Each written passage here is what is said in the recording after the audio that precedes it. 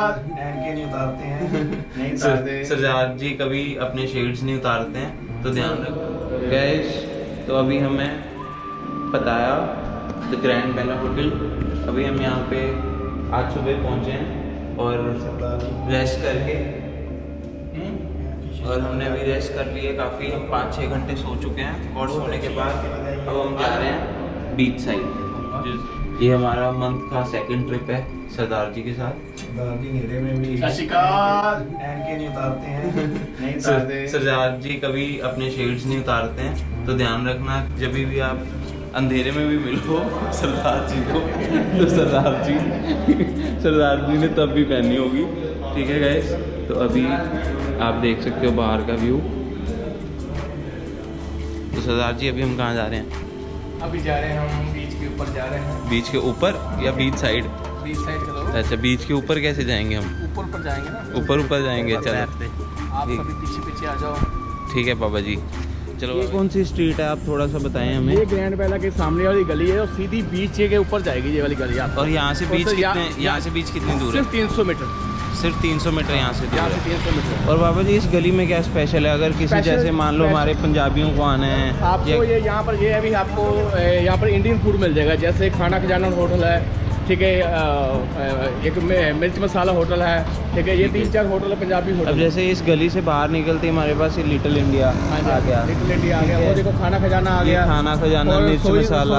आ गया ठीक है जी। ठीक है बाबा जी। मसाला आ गया आपको इंडियन फ़ूड मिल जाएगा यहाँ पर ठीक है बाबा जी। और ये आपको शाम को यहाँ पर बहुत बढ़िया व्यू दिखेगा। शाम के जैसे छः बज चुके हैं ऑलरेडी हाँ तो बाबा जी ये कब ये स्टार्ट पार्टीज़ फूटीज तो यहाँ पे? जो स्टार्ट होगी यहाँ पर आपको आठ बजे से लेकर स्टार्ट होगी। आठ बजे से लेकर रात के तीन बजे तक चलता ही रहता है यहाँ यहाँ पे पार्टी चलती है यहाँ पर स्नूकर आप खेल सकते हो।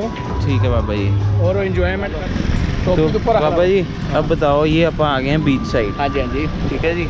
ये हम बीच साइड आ चुके हैं। और यहाँ पे आप हमें बताएँ कि यहाँ बैठने के क्या चार्जेस होते हैं? यहाँ बैठने के चार्ज कोई थर्टी बार से लेकर फिफ्टी बार तक होते हैं। ठीक है पापा जी। हाँ जी।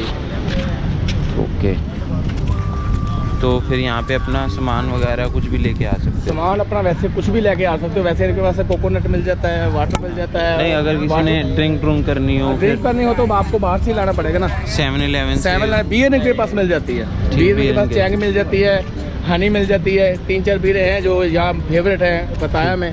वो यहाँ मिल जाती है। ठीक है बाबा जी। तो अभी अभी फिर हम जा रहे हैं सेवन इलेवन सेवन इलेवन जा रहे हैं। लेने। सामान लेने जा रहे ठीक है फिर उसके बाद हम बैठेंगे यहाँ पे। हाँ जी। ठीक है? और हम बैठना हमें आगे आगे है। हाँ आगे आगे है? और यहाँ पे बाबा जी ये बोटिंग वगैरह भी यहीं होती है हाँ बोटिंग यहीं से होती है सारी। ये सारी बोट्स हमें हाँ दिख हाँ रही है सब बोट यहीं से। यहाँ से है। जाती है। अच्छा एक कोरल और- कोरल आइलैंड से आपने आगे भी जाना है तो काफ़ी आइलैंड आगे भी हैं। तो आगे भी आप आइलैंड जा सकते हो। वैसे यहाँ से जो बोटें जाती हैं वो यहीं तक जाती हैं और कोरल आइलैंड से आगे भी जाती हैं। ओके। ठीक है बाबा जी। चलो अब हम सेवन इलेवन चलते हैं। सेवन इलेवन से हम सामान लेते हैं और फिर यहाँ बीच पे बैठ के विल एंजॉय तो अभी हम पहुँच चुके हैं हवेली इंडियन रेस्टोरेंट जो कि पताया में है। यहाँ पे आपको अ, सारा इंडियन फ़ूड जितना भी आपको इंडियन फ़ूड चाहिए होता है वो सारा मिलेगा। और इनके प्राइजेस भी वेरी मिनिमम हैं। और यहाँ पे आपको आउटसाइड सिटिंग और इनसाइड सिटिंग दोनों आपको इजीली मिल जाती हैं अवेलेबल होती हैं। और ये रिसेप्शन है।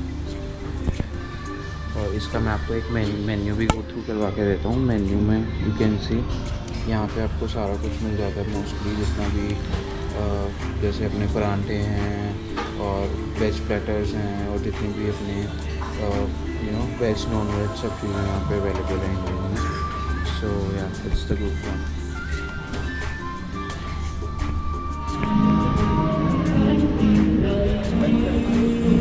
ये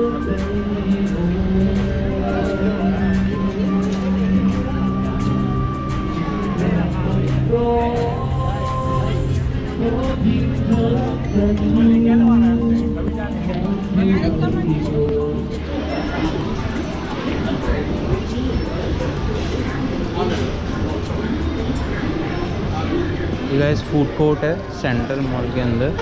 आप देख सकते हैं फ़ूड कोर्ट काफ़ी प्यारा फ़ूड कोर्ट है यहाँ पे बैठने के लिए। Will see I mean every Indian food या जितना भी थाई फ़ूड है इंग्लिश फ़ूड है, सब आपको यहाँ पे मिलेगा।